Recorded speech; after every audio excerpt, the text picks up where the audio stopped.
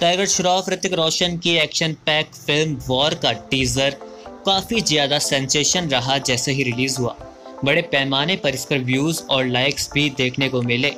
सबसे फास्टेस्ट एक लाख व्यूज़ का रिकॉर्ड बनाने में नाकामयाब रहा वॉर का टीज़र जी हाँ दोस्तों, आप भी चौक गए होंगे।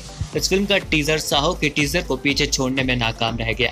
व्यूज़ और लाइक को भी मिला लें तो साहो का टीज़र आगे रहा।